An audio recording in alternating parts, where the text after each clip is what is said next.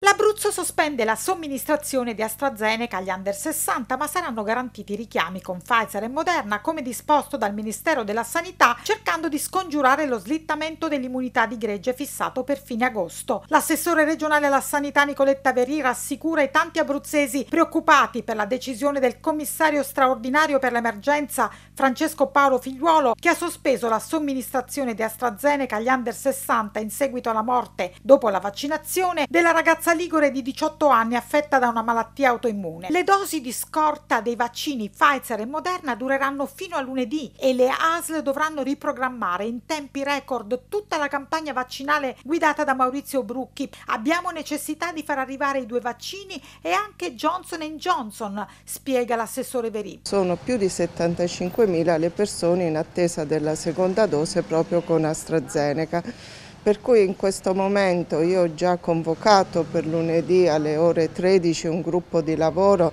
insieme alle direzioni generali. Possiamo garantire una somministrazione fino a tutta lunedì sia per coloro che chiedono la prima dose e sia per coloro che sono già in elenco per la seconda dose. Abbiamo richiesto ulteriori dosi degli altri vaccini di Moderna, di Pfizer Aspettiamo le risposte da parte della struttura commissariale, però garantiremo la somministrazione dei vaccini a tutti i nostri corregionali. Chi si è già prenotato non deve riprenotarsi? Il nostro programma è pronto a rimodularlo. Col sistema poste abbiamo già stabilito una riprogrammazione in base alle dosi. Coloro che si sono prenotati, se arriveranno i vaccini, continueranno ad avere quel programma già stabilito. Se dovessero mancare queste dosi dobbiamo riprogrammarle.